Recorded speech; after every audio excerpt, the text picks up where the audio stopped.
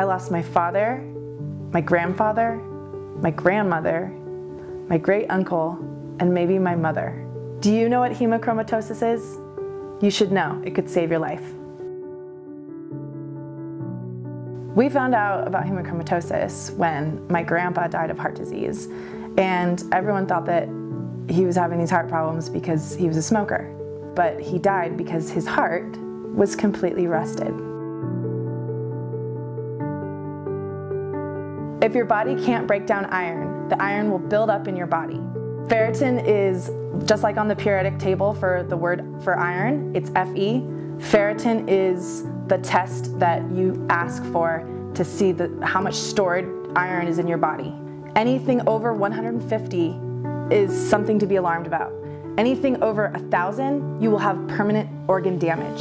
Your organs will be holding the iron and as the blood circulates through your body, the oxygen in the blood is going to rust your organs.